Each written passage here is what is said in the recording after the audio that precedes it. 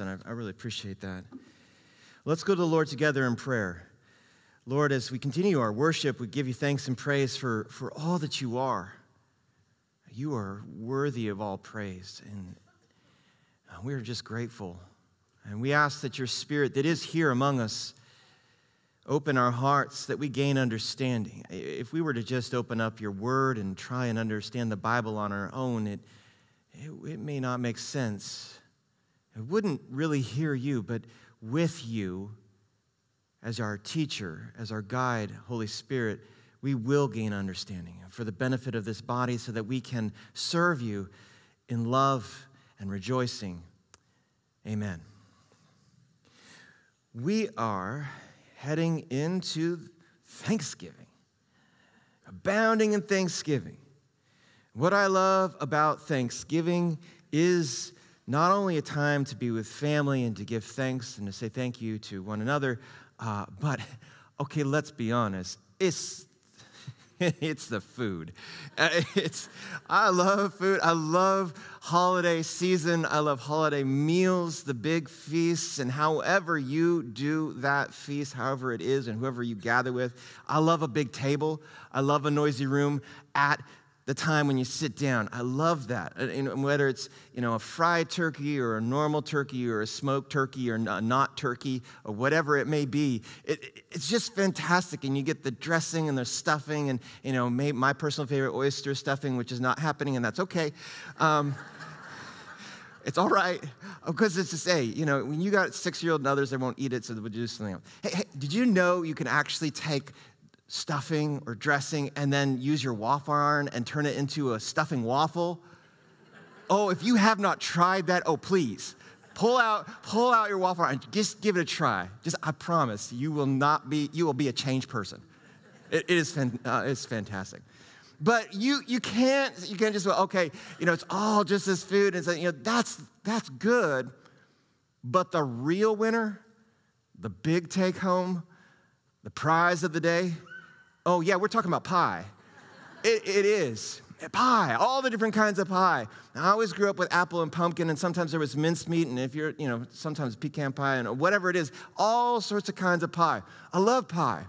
And because it's a, it's a great holiday, it's a, it's a holiday means holy day, which means we give thanks to God. Therefore, pie is forgiven, and you can have as much as you want, and it's okay, and even have it for breakfast because it's blessed. So it's okay. It's okay. So enjoy that, enjoy however you because you, you get that great feast and, and, and you have that time to, to consume all this food. And, and then the, the next thing is, and, and this actually, I didn't realize it was a debatable thing in my household because I was like, you know, uh, you know, I know what Thanksgiving means to me. And my kids like, oh, it's the Macy's Thanksgiving Day Parade. You know, you the balloons, you got to see that. And then, and then, of course, the big thing, and I'm like, oh, no, here it comes. They go, it's the Westminster Dog Show. I'm like, no, it's football. Football is what Thanksgiving is because after you've eaten all that food, you got to have the TV on with the football game, and I don't care who's playing. I just need to have the next thing, which is your eyes closed, you nap. You're not watching the game, you just know that you've got something on and then you fall asleep, and then, like, that's a good day. That's a good day. And you know, for some of us, though, you know, I know for those of you watching in, from home and you're up north and you've got all that snow, Buffalo, I'm sorry. Um, so you're not going to be doing this next thing, and maybe you will. But for some of us, we just say, you know, we've had a great meal. I think it's maybe time to just walk it off a little bit. Let's go for a walk. And maybe your dog's been begging you to, to get out and go for walks. And So, all right, let's take the dog out and go for a walk. Or, or maybe continue this conversation that we started, and you and I will go and we'll walk and just kind of walk off that wonderful feast. And I started thinking about the activity of walking. And, you know, in the Christian faith, we use the word or the activity of walking to describe what it means to, to be a disciple of Jesus that we walk. We walk with Jesus. But how many of you ever thought, well, what does it actually mean to walk with Jesus? What does that look like? Is, is there something that we can learn from walking with Jesus that we can apply to our lives today and through the holiday season and the, and the months to come? I believe there is. And it's rooted in walking with Jesus and abounding in thanksgiving. So let's take a look together at a small section from the letter to the Colossians. Uh, this is uh, Colossians chapter 2 from the Apostle Paul, wherein he talks about walking with Christ and being thankful. So, Colossians chapter 2, verses 6 and 7, and it reads, And you therefore have received Christ Jesus the Lord, continue to walk in him, rooted and built up in him and established in the faith, just as you were taught, abounding in thanksgiving. Abounding in thanksgiving. Our walk with Jesus. Walking with Jesus means that we are rooted and built up in him. And that's something we can all get behind being in Christ, Christ in us. Something that gives us strength renewal, and, and a sense of purpose. A lot, a lot of times uh, I hear people eager learning like well what is my purpose? What no matter what stage of life there is if they're young they're trying to figure out well what is my purpose in the world? If they've got kids and they're trying to figure out like i know i'm supposed to parent these kids and i'm doing that but but what what is my purpose? You're a grandparent now or you're retired and, and you're like yeah but but what is my purpose in Christ, we can begin to understand what our purpose is being rooted, being having strength bound and bonded to something else, and being built up in Christ, in Him. That's a good thing, a good thing that should we should hold on to. It also it should prompt us to ask another important question. Why why? Why am I rooted in Christ and built up in Him. For what purpose does this happen? Is it for our own benefit? Well, yes, of course. And not just that. So, no, not just your own benefit. There actually is a purpose of why you are built up and rooted in Jesus. And that purpose is that you and I are called, commissioned, charged to go and interact with others. Go be with others. That's why you're strengthened. That's why you're rooted. Now, for some people, this charge, this commissioning to go and interact with other people is a, is a cause for celebration and rejoicing. Go be with people. Yeah, that's my jam. I got to go do that right now. Let's go. For others of us, to go be with people is kind of like, could I read a book alone? Would that suffice? Can that, can that be my walk with Jesus? Can I, can I just kind of withdraw a little bit? Because um, being with people kind of fills me a little bit with a sense of anticipatory angst, a little bit, and dread, possibly. And why would that be? Well, hey, it may be that we're introverted and being with others is not really our go to for, for fun and, and joy. However, every healthy introvert understands and knows full well that 100% avoidance of people is a dangerous thing for our well being. And we know that, all of us, introverts and extroverts, because of what we experienced during the lockdown of the pandemic. Being away from people is not good, it's hard, it affects us negatively. If someone is feeling angst and dread, though, about interacting with people, it could be that that feeling or those feelings are connected to a negative experience that they had with someone else in the past. Additionally, it could be that that place that we're being called to go to, that place that we're supposed to go be with others, is going to include that person who hurt us. This stirs up in us a kind of an inner turmoil that could, stem from that hurt or maybe uh, that ongoing comparison that we have between ourselves and that person, and it's just negatively impacting us. Any number of things, any number of things. But the one thing that we really need to be aware of, we need to be cautious about, is whether or not we feel resentment. Resentment. Because if it's resentment, then we're in trouble. Because resentment is a true soul killer. Once our hearts feel resentment towards someone or something or an organization, our internal system begins to attack us. Consider, here's some, some wise reflections on what resentment does to us. Look at these things here. Uh, our fatigue is often caused not by work, but by worry, frustration, and resentment. Dale Carnegie. Resentment is like drinking poison and then hoping it will kill your enemies. Nelson Mandela. That's a, that's a smart one. I love that one. How about this one, though? Nothing on earth consumes a man more quickly than the passion of resentment. Friedrich Nietzsche. Yeah. I'll admit that that's dark.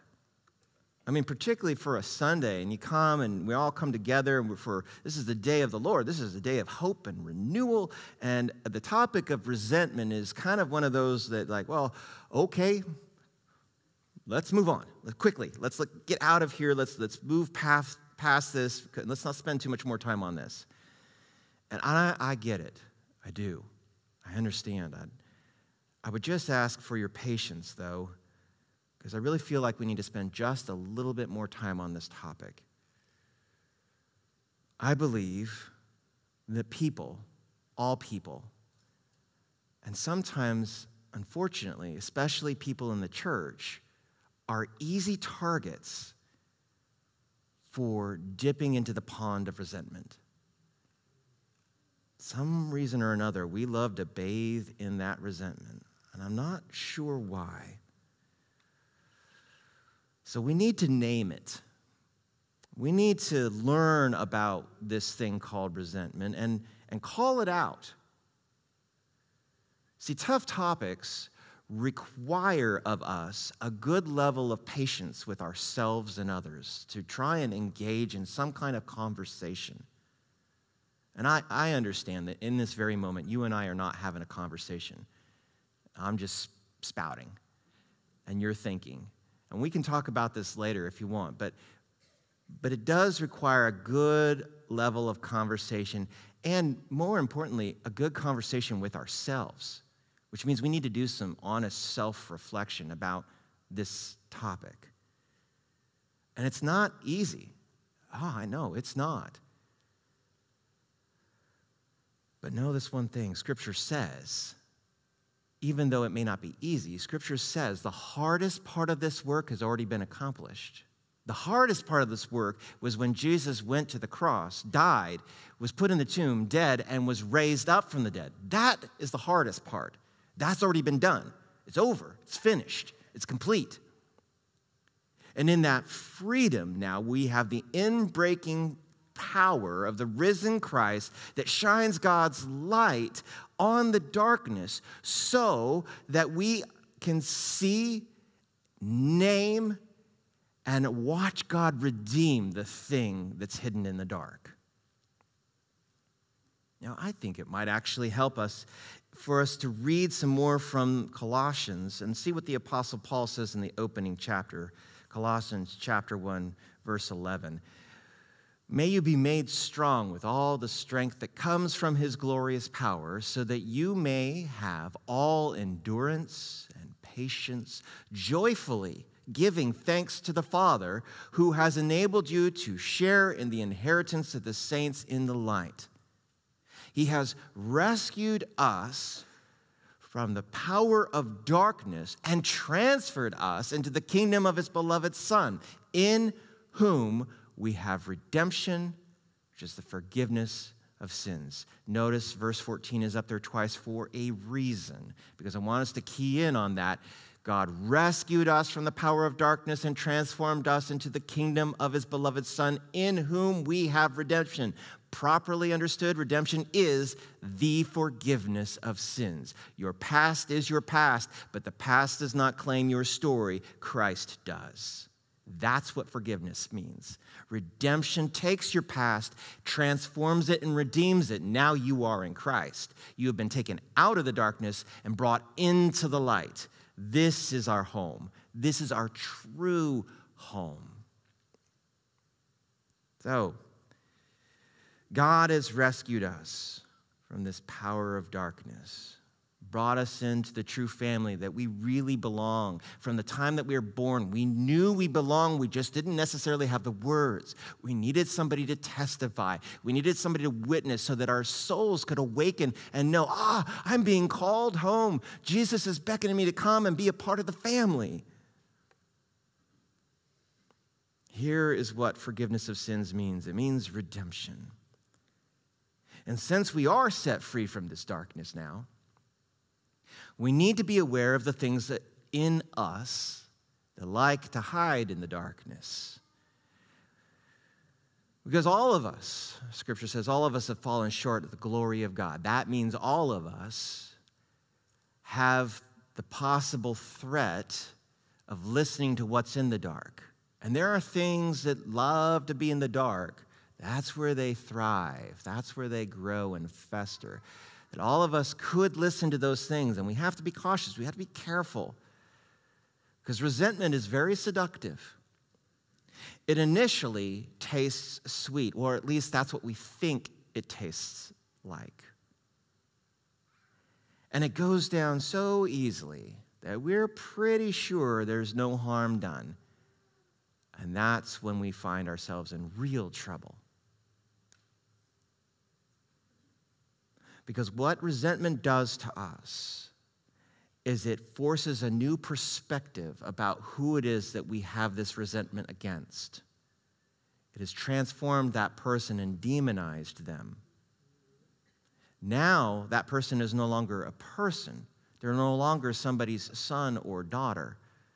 Instead, they are that thing, not a person that thing that opposes us and our perspective. And if we don't let the light of God break forth and shine on it, we can end up as a twisted version of our former selves who rejoice about that thing suffering. Or worse yet, we could actively participate in making that once a person suffer. That's the power of resentment. God has rescued us from the power of darkness and transformed us into the kingdom of the beloved Son, in whom we have redemption, the forgiveness of sins. We are forgiven. And when this happens, which takes place daily, you know, and sometimes hourly. Oh, Lord, I did not mean to say that. I'm so sorry. Please forgive me, Lord. Please forgive me. Please forgive me. I didn't mean, I, I'm sorry. Emotions got the better of me. I really didn't mean to say that. Sometimes we need grace upon grace upon grace. And thankfully, the Lord is willing and able to do so and to give it unto us. That's what it means to walk with Christ to walk with Jesus, to understand that that grace is ready for us each and every hour and every second.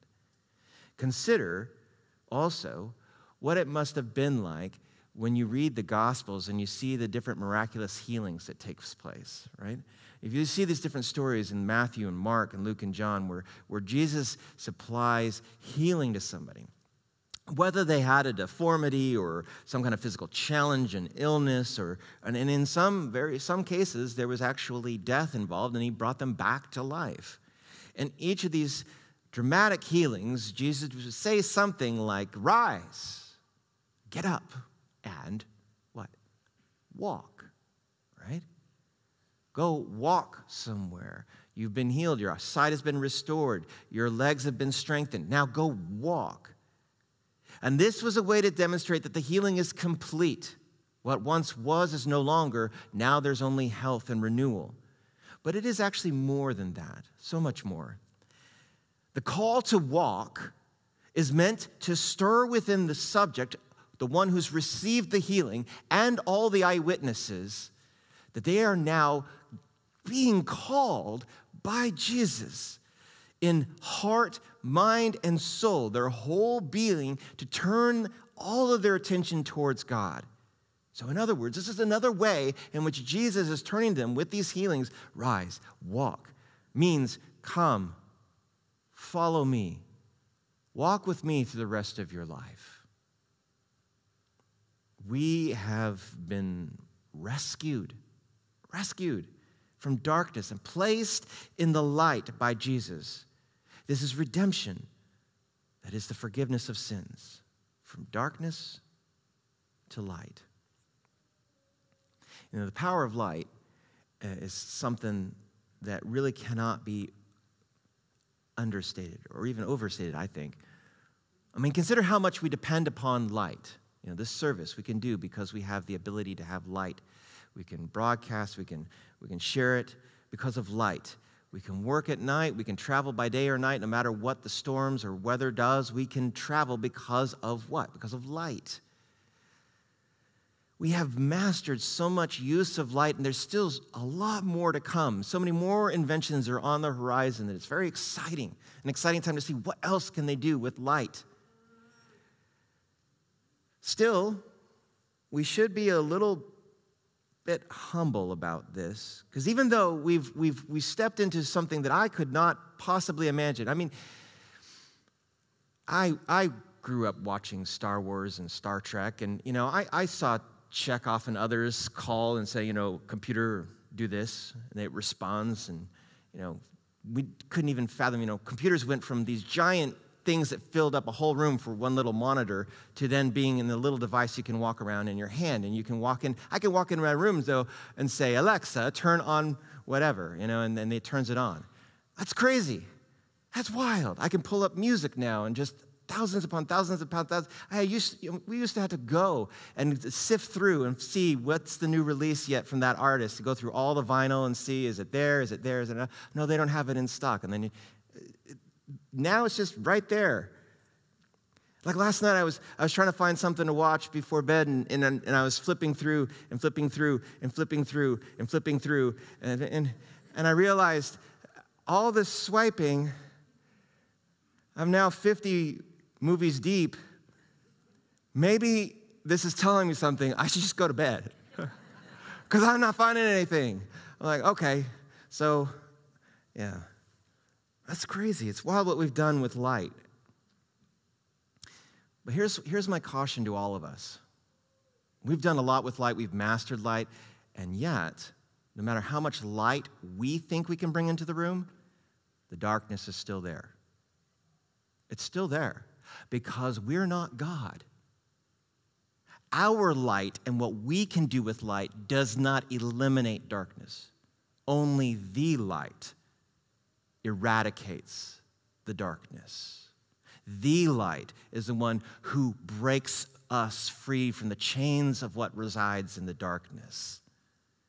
And that is the beauty of what is here in the letter to the folks in Colossians. Colossians chapter 3, we'll close with this. So, if you have been raised with Christ, seek the things that are above, where Christ is seated at the right hand of God. Set your minds on the things that are above, not on the things that are on earth, for you have died and your life is hidden with Christ in God. When Christ is your life is revealed, then you also will be revealed with him in glory. It's just like when you've been baptized, you're buried into the death of Christ and then raised up in his resurrection. You are in light. You are in the family of light. You are a new creation. Everything is made new. And that is a reason for rejoicing and being thankful. That is our celebration. That is our alleluia. Our thankful hearts demonstrate our gratitude for heaping up all the praise upon a heavenly Father. This gratitude builds up within us a resiliency that keeps us from going towards the table where the cup of resentment sits and trying to take a sip. We can keep our minds set on things above, not stuff that we see here on earth. We can walk with Christ in this freedom and know that Jesus is our Savior. Not us, we're not our Savior. Jesus is our Savior. And in this freedom, we breathe in holy peace and exhale divine love. To set our minds on things above means that no matter what season of life we face, no matter what we're going through, we have the ability to thank God for the gift of freeing us from the darkness. This is our walk. This is our salvation. This is why we are abounding in thanksgiving. Let's pray. Holy God, we give you thanks and praise. We give you thanks and praise, O Christ. Oh, we need a Savior, and you came down for us. Praise you, God. Lord, right now, no matter what we're facing, no matter what the darkness may whisper or shout at us, remind us who we truly are, and that is we're yours no one else's. God, you have redeemed us and saved us. And we shout with thanksgiving in our hearts and praise on our lips, for you are the Redeemer and our hope. Amen.